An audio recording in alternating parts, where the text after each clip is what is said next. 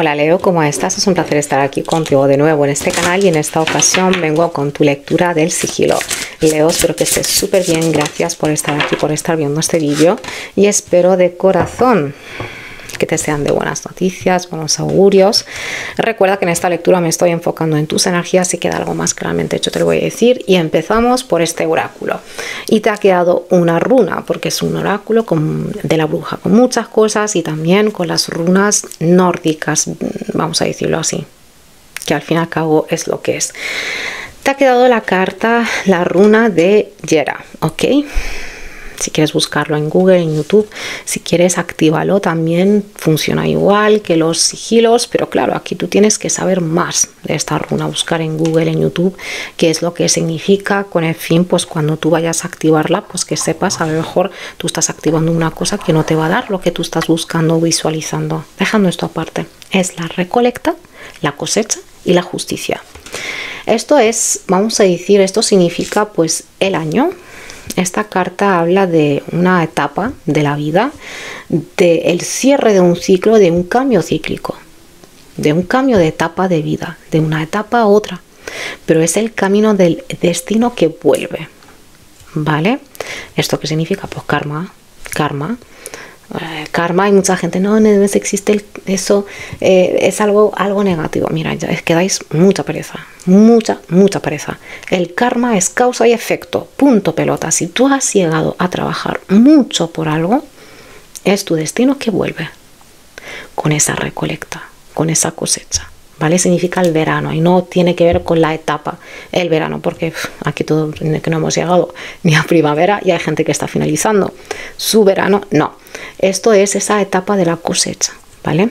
Claro, porque antes que para esta gente, pues el verano era la recolecta total.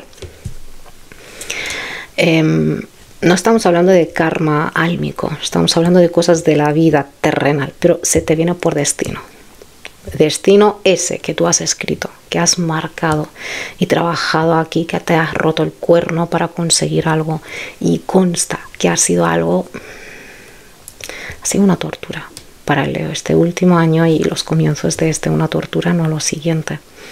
Conozco a mucha gente, a mí gracias a Dios, pues mira, como yo sé cómo van a ir las cosas y tal. Y claro, una lleva años y años y años, más de la mitad de mi vida con evoluciones, entonces pues mira, Aparte que para mí pues me afecta más Escorpio que Leo en muchas cosas. Total, dejando esto aparte, para Leo ha sido caótico. Pues prepárate, como te he dicho, para muchos de vosotros Leo a partir de la última semana del mes de marzo las cosas empiezan a ir a mejor. No te estoy diciendo que esto va a ser una fiesta, pero puede llegar a asemejarse mucho a una fiesta porque estás viendo que estás recogiendo tus frutos, tus cosechas. Tu destino está regresando a ti con una sonrisa en la boca y te está diciendo, toma, esto para ti. Y no es de gratis. No es de gratis, para nada. Aquí no hay nada gratis. Eso porque te lo has currado. Estás ahí pico y pala y tuyo va a ser. Claramente han habido cosas alrededor que tú decías a lo mejor. ¿Qué sabiduría hay en esto? ¿Qué cosa hay en esto? Pues a lo mejor que tenía que ver contigo, no con la gente. En fin, Leo, vamos a ver el tarot que te dice. Y recuerda, por favor, que esto es muy general. En el caso de que no te esté aplicando, de que no te veas mucho en esta lectura, échale un vistazo a los otros vídeos de tu signo lunar ascendente. Vamos, vamos allá, Leo. Yo espero de corazón que os esté aplicando a todos esto. Hombre, claro. Pero bueno, vamos a ver qué te dice el tarot.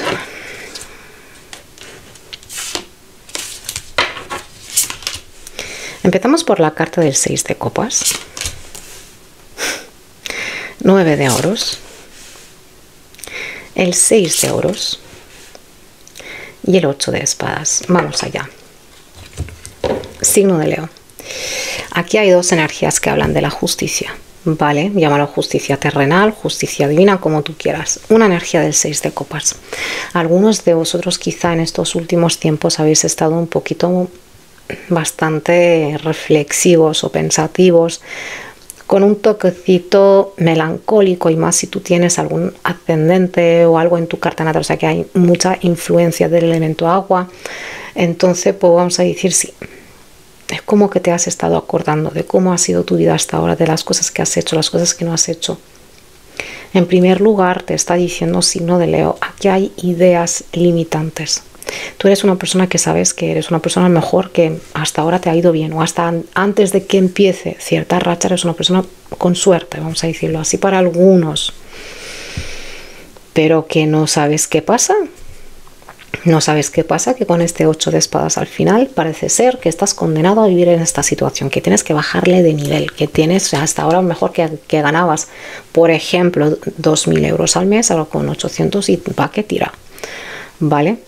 Leo, yo te voy a decir que aquí de verdad hay cosas de tu pasado que están regresando, o proyectos, noticias, currículums que has dejado, lo que sea.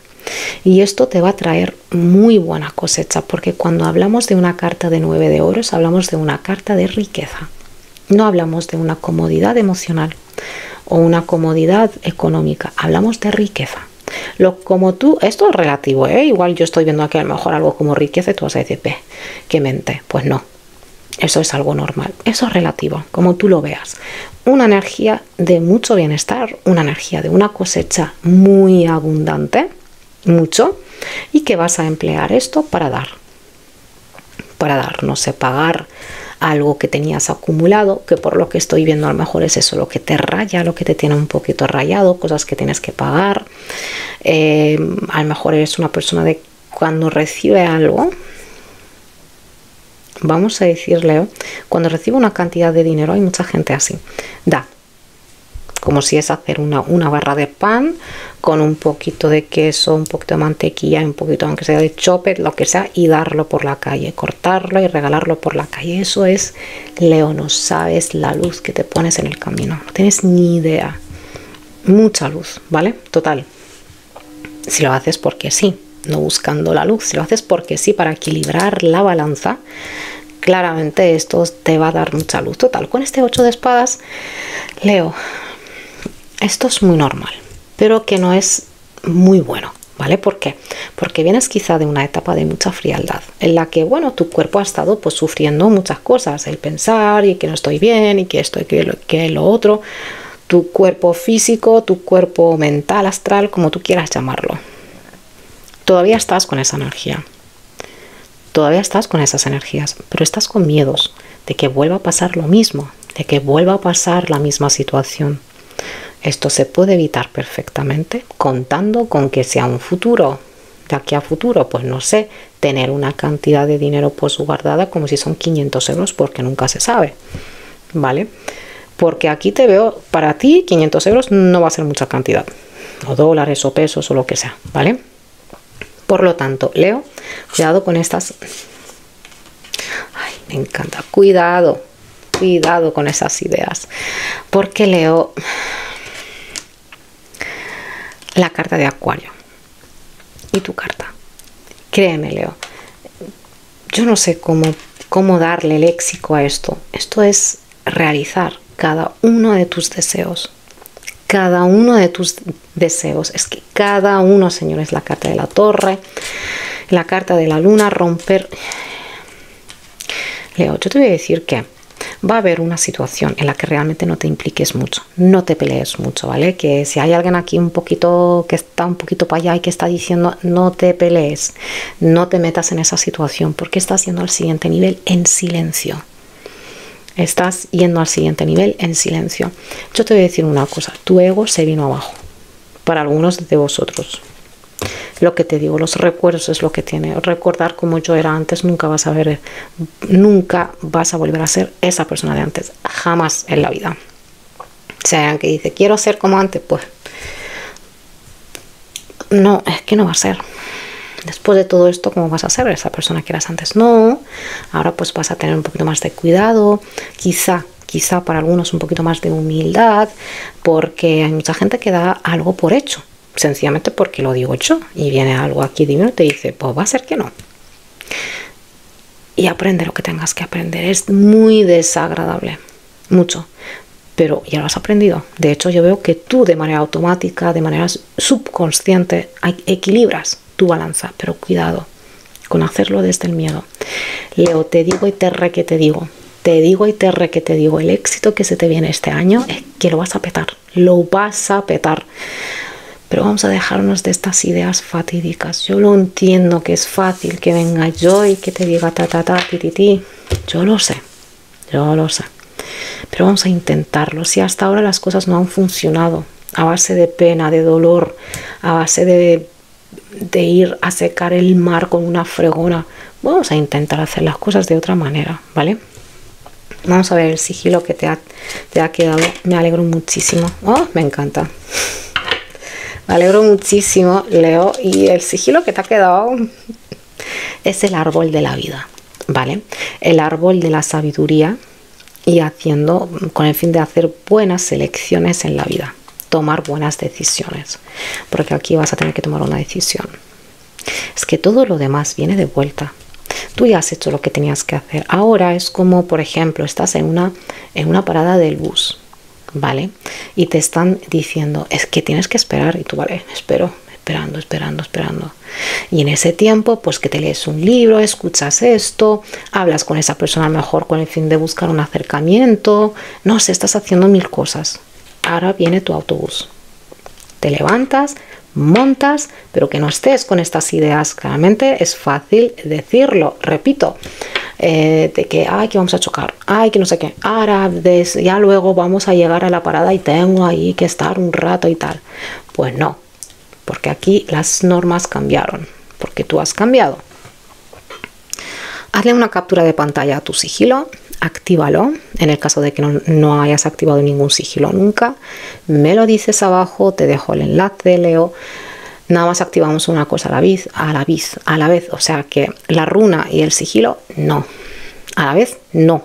Una vez y luego al cabo de unos días, pues otra cosa.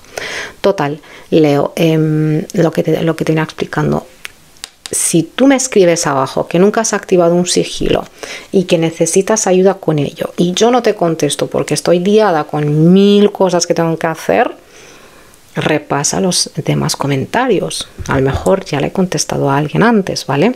Esta ha sido tu lectura, Leo. Enhorabuena por todo lo que viene porque esto es impresionante. Ay, déjame saber ahí abajo si te ha aplicado o no. No te olvides de darle a like y de suscribirte. Gracias, hasta la siguiente. Chao.